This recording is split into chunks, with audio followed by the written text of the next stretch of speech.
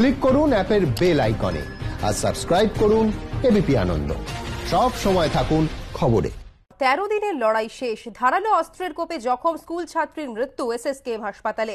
প্রেমের প্রস্তাব প্রত্যাখ্যান করায় হামলা বলে পরিবারের দাবি, গ্রেফতার অভিযুক্ত কিশোর। বিস্তারিত জানব, কথা বলব আমাদের প্রতিনিধি ময়ূক ঠাকুর চক্রবর্তীর সঙ্গে। ময়ূক আর কি জানা যাচ্ছে?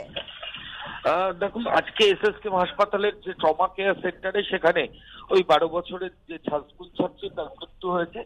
ঘটনার সূত্রপাত বারো দিন আগে যেটা তার পরিবারের সদস্যরা জানাচ্ছিলেন যে ওই স্কুল ছাত্রী আহ, সে তার স্কুলে যাচ্ছিল সকালবেলা সাইকেল নিয়ে বাড়ি থেকে। কিছুটা যাওয়ার পর সে ফের বাড়ির দিকে ব্যাক করে কারণ সে কিছু স্কুলের জিনিস নিতে ভুলে গিয়েছিল। এরপর প্রতিবেশীরা যেটা জানাচ্ছেন যে তাকে রক্তাক্ত অবস্থায় বাড়ি থেকে কিছুটা দূরে স্কুল যাওয়ার রাস্তায় তাকে পাওয়া যায়। এবং ধারালো অস্ত্রের আঘাত তার শরীরে ছিল। পরিবারের সদস্যরা ওটা দেখার সঙ্গে সঙ্গে স্থানীয় হাসপাতালে নিয়ে যায়। সেখান থেকে স্থানীয় হাসপাতালে চিকিৎসকেরা এসএসকেএম হাসপাতালে পাঠিয়ে দেন ওই তো স্কুল ছাত্রীকে। আজ প্রায় বারো দিন ভর্তি থাকার পর আজকে ভোরবেলা ওই স্কুল ছাত্রীর মৃত্যু হয়েছে, এমনটাই পরিবারের সদস্যরা জানতে পেরেছেন। তারা এসএসকেএম হাসপাতালে এসেছেন, পরিবারের সদস্যদের অভিযোগ যে গোটা ঘটনার পর তারা সোনারপুর থানায় গোটা বিষয়টা জানিয়েছেন।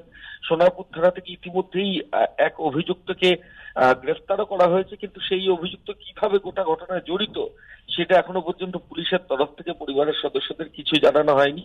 পুলিশের তরফ থেকে যেটা বলা হচ্ছে যে, আজকে গোটা ঘটনার পর তারা একটা অস্বাভাবিক মৃত্যু মামলা করছেন। এর আগে পরিবারের সদস্যদের অভিযোগের ভিত্তিতে তারা একজনকে গ্রেফতারও করেছেন। সম্পর্কের টানাপোড়েনের জেরে এই হামলা বলে প্রাথমিকভাবে মনে করা হচ্ছে। তবে অন্য কোনো কারণ আছে কিনা সেটাও কিন্তু খতিয়ে দেখা হচ্ছে।